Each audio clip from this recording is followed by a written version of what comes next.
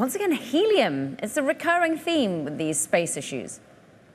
Yeah, helium is prone to leaking. It, it is a small molecule, so it can find its way out of various small crevices. But this is just comes with the territory of following rockets and rocket launches. There's always some kind of delay, but hopefully it won't be too lengthy for, and hopefully we'll see this launch take off soon.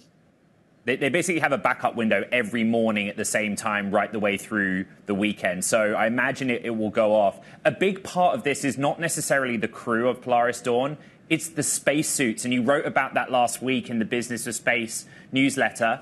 Like and subscribe.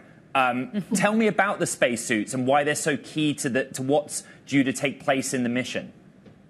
Yeah, so for people who have followed SpaceX up until now, you might be familiar with SpaceX's so-called spacesuits, but the spacesuits that we've seen up until this point are really just pressure suits, which are used by the astronauts. They're worn when they fly to space, when they come back from uh, space, and they're really mostly meant to be used in the case of an emergency, in case the capsule depressurizes or there's some unforeseen event.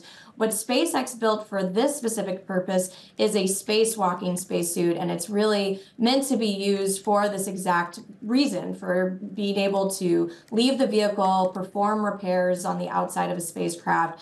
Uh, for this mission, uh, SpaceX is just going to test out the durability of the suits, but these suits look pretty cool. They definitely look like the they're the sleek white design of the pressure suits that we've seen, but they're supposed to be able to withstand the vacuum of space even better, they have heads-up displays inside of them, uh, and they, you know, they have the signature SpaceX style that we've all come to know and love.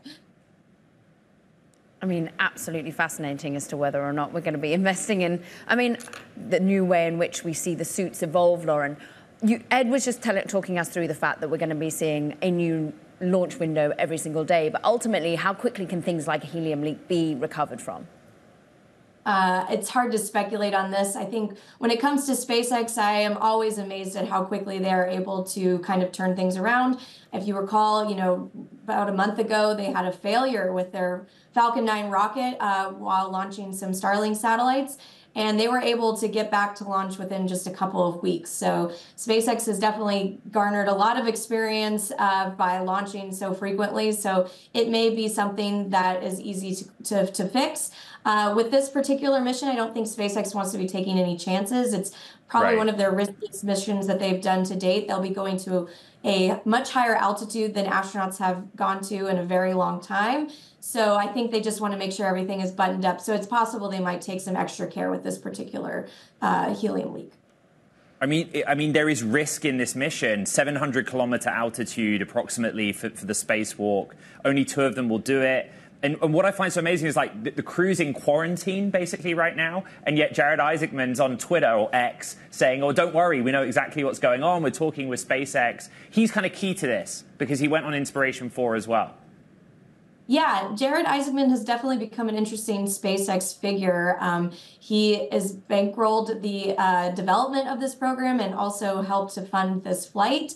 And it's not, he'll be flying again uh, in the future too. He didn't just buy this one flight, he has kind of invested in an entire program, uh, research and development program called Polaris. And this is just the first part of that. It'll eventually culminate with the first crewed launch of SpaceX's Starship rocket, which is that massive vehicle that they've been building in South Texas. I assume that uh, Jared will be on that as well. We'll have to wait and see that because we still have some development road to get through. But yeah, it's he's definitely become a, a dominant figure in the SpaceX community.